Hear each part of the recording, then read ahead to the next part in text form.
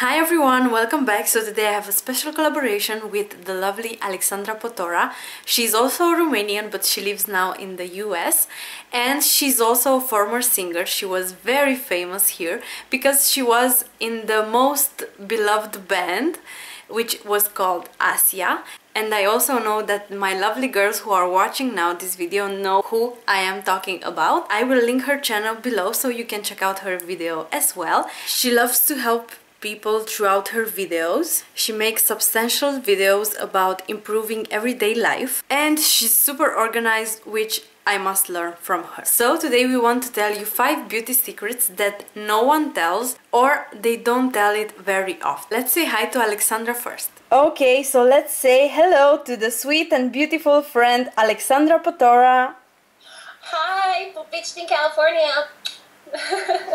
So my first tip is about how to save your makeup if you have applied too much blush or too much contour.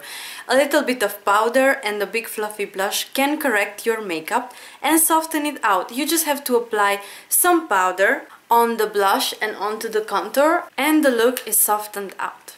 So my next tip is about exfoliating. I like to use this coffee exfoliator. This is a Romanian brand. You can use this before and after you shave. Scrub your legs before you shave, lessening the chances of cut, burns and unclogged pores. Now my third tip is about powder your lashes. Yes, you've heard correctly, powder your lashes for a more voluminous and long effect on your lashes. I also have a special video for it. I will link it below. You just use a loose powder or you can use a black eyeshadow and just powder it with a blending brush or a q-tip, a small amount on your lashes and after that apply once or twice mascara on it and your lashes are much more voluminous and long.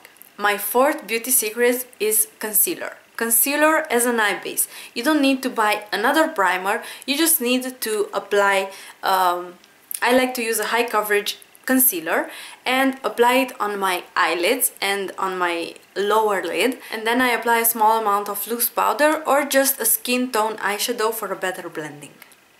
My last beauty secret before you'll see Alexandra's is lip liner as a lipstick. I love to wear lip liner as a lipstick because lip liners have a denser texture and they are much more persistent than a matte lipstick which is also very powdery and much more dense in texture than the other lipsticks. So for example if I like to wear a bright red lipstick but I don't really have a bright red lipstick. Then I take my uh, lip liner and just apply it all over my lips. And it lasts all day on my lips. If I want just to make it shinier I apply a lip gloss on top and I'm good to go so these were my top 5 beauty secrets. Let's see what Alexandra's beauty secrets are. One of the biggest reasons why many of us drag waxing or choose not to do it at all is the pain factor. So here's a tip. You can choose to do this all over the areas you're about to wax or you can localize it to the more sensitive areas where it hurts the most.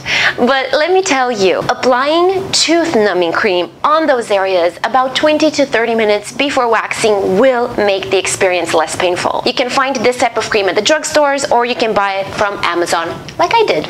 Now, some of you know that I had really bad acne a couple of years ago, so I learned a bunch of different tricks to help hide it. A common mistake is using a regular concealer on the spot of the pimple. That is not the way to hide it. The trick is using mint green concealer instead. The way we should use orange tinted concealer as the base for hiding dark circles, we should use green to cover our pimples. No matter what you are trying to cover up on your face. The secret is using a base color that is at the opposite spectrum of the color wheel. I mentioned in a past video how I use orange concealer as part of the process of hiding my blue purplish dark circles. If you Google the color wheel, you'll see that orange is opposite from blue, while green is opposite from red. I use this one from Maybelline and I got it from the drugstore.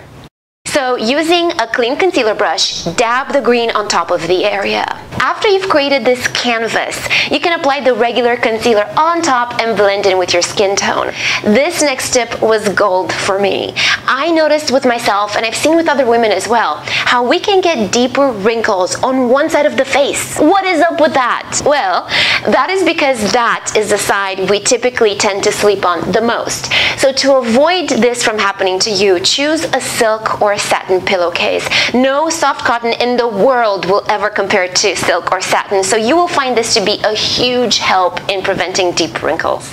Now, here is a natural trick if you have visible sun damage on your skin. I have some sunspots, but I've been using this trick and it's really been working out for me. So I wanted to share it with you. Three to four times a week, I take an organic strawberry, wash it, cut it in half, and then gently rub that strawberry on the discolored areas. Not everywhere, just localized on the spots. You can even use a Q-tip to scoop out some of that meatiness and apply it locally. Keep that juice on the skin for a couple of minutes before washing and moisturizing. Do that consistently and in time you will notice the sunspots fading out. Fruit acids help lighten dark spots and strawberries tend to be a little less drying than lemons are if used often.